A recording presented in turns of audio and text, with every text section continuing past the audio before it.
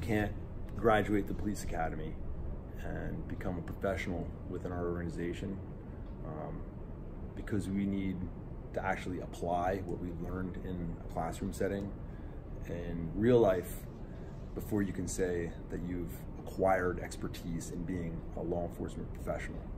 Um, and I think that one of the hardest things to do is to go through all your certifications in a police academy and then get out and say, I think I know what I'm doing, but this is what domestic violence looks like in someone's living room.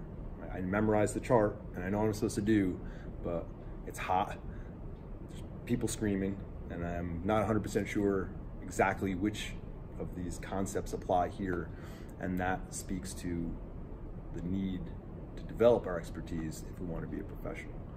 And um, I speak very passionately about uh, field training. I feel that uh, field training officers understand the need to develop and cultivate experience, and experience leads to expertise, right? The same root word. Um, and that's really, uh, I think, the golden value and, and role that FTOs play in uh, developing expertise.